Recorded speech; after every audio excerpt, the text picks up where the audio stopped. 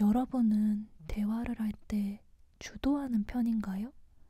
아니면 상대의 얘기를 들어주는 편인가요? 저는 제 이야기를 거의 하지 않아요.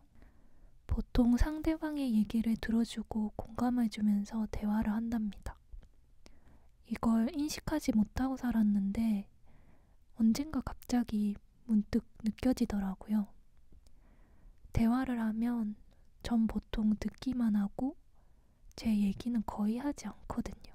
그게 편해서요. 얘기 들어주는 것도 나름 재밌기도 하고, 근데 제일 큰 이유는 제 얘기를 안 해도 된다는 이유에서 그랬던 것 같아요. 다 그런 건 물론 아니겠지만, 제 경우에는 제가 만나온 사람들은 다 저한테 말하는 걸 좋아했어요. 제가 편하고 부담 없어서 이야기하기가 좋다는 말도 들어본 적이 있어요. 이게 칭찬이잖아요. 너무 감사한 말인데 제가 이 말을 들을 때 죄책감이 들더라고요. 사실은 내가 말을 들어주고 공감해주고 반응해주는 거에는 대화 중에 내 얘기를 하지 않으려는 숨은 의도가 있었기 때문에 그걸 숨기고 상대에겐 단지 배려심 넘치는 사람으로만 비춰지는 게 그 사람을 속인 것 같아서 미안하더라고요. 여러분도 이런 경험이 있나요? 저는 왜 제 얘기를 하지 않는 걸까요? 저는 살면서 제가 자랑스러웠던 적이 별로 없어요. 늘 그때 저를 못마땅해 했고 항상 부족하다고 생각했어요. 지금도 뭐 마찬가지고. 그래서 부족한 제 자신을 늘 숨기기에 급급했어요. 내가 별로라고 생각하는데 상대방이 나를 괜찮게 보겠어? 라는 생각이 늘 머릿속에 바탕으로 깔려 있었어요. 제가 생각하기에 잘난 점이 있고 자랑거리가 있었다면 저도 신나서 나 이렇다 저렇다 하면서 얘기했을 거예요. 근데 할 얘기가 없더라고요. 정말 그냥 할 이야기가 없어요. 정확히 말하면 하고 싶은 얘기가 없는? 나는 나에 대해서 좋은 점만, 멋진 점만 말하고 싶은데 지금 내 상황은 그러지 못하니까 하고 싶은 얘기가 없더라고요. 이룬 게 없더라도 당장 하고 있는 일들에 대해 얘기하면 되잖아? 싶기도 해요. 근데 자신이 없었어요. 한 번 말을 내뱉으면 책임이란 게 따를 때가 있단 말이죠. 지금 하고 있는 일이나 뭐 공부나 그런 걸 말하면 나중에 흐지부지 되거나 실패했을 때 그때 내가 너무 초라하고 창피할 것 같아서 그래서 말도 못 꺼내요. 그러니까 아직 일어나지도 않은 일들을 걱정한다고 말 못하는 거예요.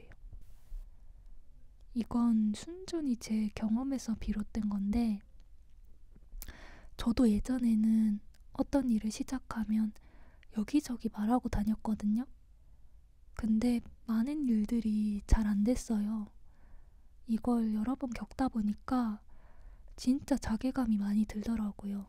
차라리 말 안 했으면 실패한 일들 아무도 모르게 흘려보낼 수 있었을 텐데 하면서 후회를 했죠.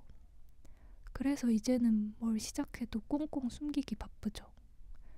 웬만해선 말을 안 하게 됐어요. 그리고 제가 이야기를 안 하는 데는 또 다른 이유가 하나 더 있어요. 저는 제 이야기가 어떤 식으로든 퍼지는 게 싫더라고요. 뭐, 연예인도 아니고 지인이 많은 것도 아니라서 과한 걱정이기는 한데, 그래도 세상 모든 걱정을 끌어안고 사는 사람으로서 그냥 내가 얘기를 한 상대 외에 다른 사람에게 제 이야기나 저에 대한 것들이 전해지는 게 싫더라고요.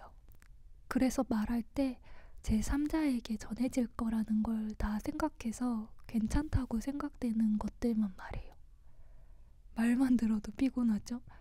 무슨 대화하는데 이렇게까지 하나 싶으실 수도 있을 것 같네요.